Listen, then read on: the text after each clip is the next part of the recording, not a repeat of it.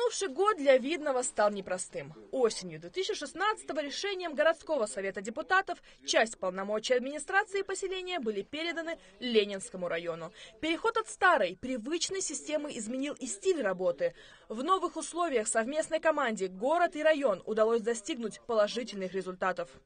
Видно, это визитная карточка района, поэтому, конечно же, тут очень многое делается, многое сделано, но еще больше нам предстоит сделать. И вот сегодня перед отчетом главы я бы, я проехал по городу, посмотрел, уже есть и значимые перемены, перемены к лучшему. Это как раз то, то, о чем говорил наш губернатор и постоянно об этом подталкивает глав э, муниципалитета. Активная деятельность, которая началась в 2016 году, во многом стала возможна за счет получения дополнительных финансовых ресурсов. Передача полномочий в район позволила сэкономить на аппарате управления. Оптимизация штата сохранила бюджету 60 миллионов рублей. Теперь такая сумма в казне поселения будет появляться каждый год. А это значит, что новых детских площадок, скверов, дорог и тротуаров станет больше. Есть одна э, очень простая истина. О ней говорит и президент, и губернатор. Когда ничего не делается, никто и не замечает, что есть перемены. Когда начинает что-то сдвигаться, то сразу же появляются новые запросы на преобразование. И всем хочется держать темп. Безусловно, есть ошибки, есть э, недочеты. Мы их будем вместе исправлять.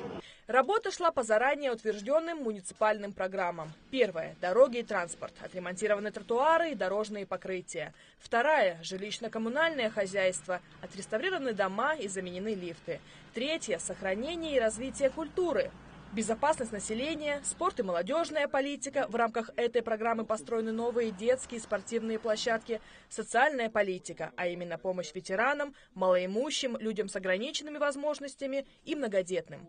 Средств на все это хватит и в нынешнем году. Городские депутаты уже утвердили бюджет. Наибольший процент расходов бюджета на 2017 год приходится на разделы жилищно-коммунальное хозяйство и национальная экономика.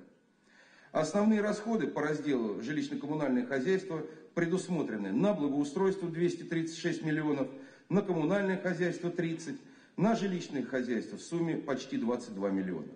Основные расходы по разделу национальная экономика предусмотрены на дорожное хозяйство в сумме 146 миллионов, на транспорт в сумме 54. Утвержден объем межбюджетных ассигнований – на финансирование 10 муниципальных программ вместо действующих в 2016 году 7 программ.